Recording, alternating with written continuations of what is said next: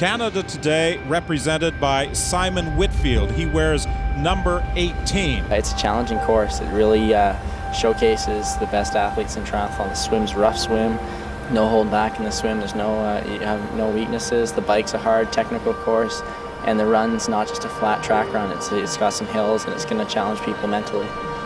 They're going to get ready to go, and off they go. Looks like a clean start. Simon Whitfield is to the far left. He liked his position because he had clear water.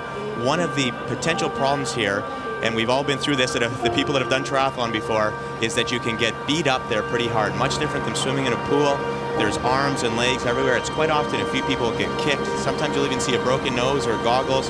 They are approaching the transition area. Craig Walton leading the way, but Simon Lessing of Great Britain is only three seconds back. They swim up onto the ramp and they begin removing their wetsuits as they make their way into the transition area.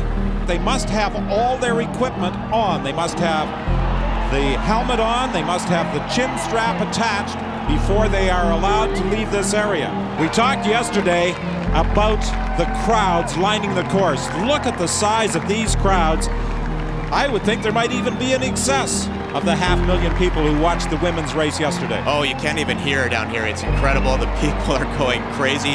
And I believe that Simon Whitfield was in very good position as he came out of the water and he had a transition time of 21 seconds and the word is that he is in sixth place so Simon Whitfield is right up there as they move on to Macquarie Street for this 40k bike race and There's Simon right in the middle. In the middle of an accident, Simon Whitfield got tangled up, and Simon Whitfield is able to get his bike out of that accident that took place. Now, how much time was lost, we will not know until they come into the transition area.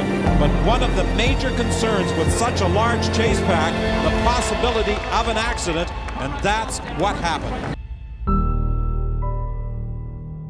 This is where they move off the bikes and get set for the 10K run.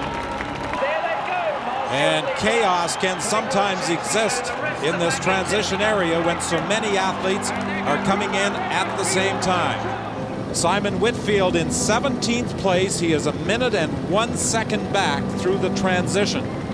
So that's he lost some spot. time, but not that badly considering the accident. Oh, that's that's actually a miracle for him to still be in 17th spot, only one minute back from the leaders. That means he's right in there with that chase group because the two leaders came in a minute up. So he's right in there. He's still in a medal contention. So that's great to hear. Great for Canada. It could be a three-person race to the finish here. Simon Whitfield just put his foot in front, moving into first position. There's three of them right there. They're going to battle the end. We've got just over a kilometer and a half to go. Simon Whitfield has put himself in a position for a medal, possibly even a gold. And Whitfield continues to hang in there just a couple of steps behind Vuckovic. Now, Vuckovic went out pretty hard too on the run. We'll see if that cost him here. Simon's thinking about that. Well, Vuckovic doesn't want to take any chances. He's decided to take his kick now. Is it too early?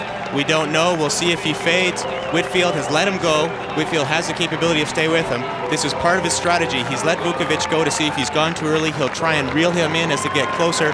They are now moving close to the finish line. Simon's making his move. He's trying to reel him in. It's getting closer.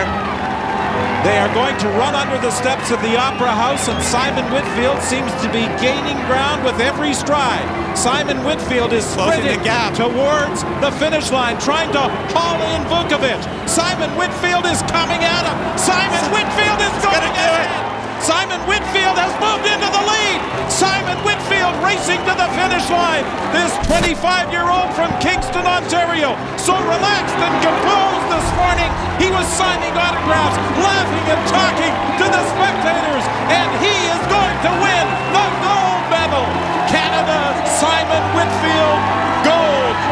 Vuckovic is going to finish in second place, and Simon Whitfield provided Canada with its first gold medal of the Olympic Games as the sport of triathlon makes its debut. What an amazing win for Simon Whitfield, who came so close to disaster on the cycling course. Gold medal, Simon Whitfield. How does that sound? Uh, unbelievable. I, uh, I dreamed of this My entire life, I dreamed about winning a gold medal, and uh, it happened today. And I can't tell you how proud I am and how proud I am to be Canadian.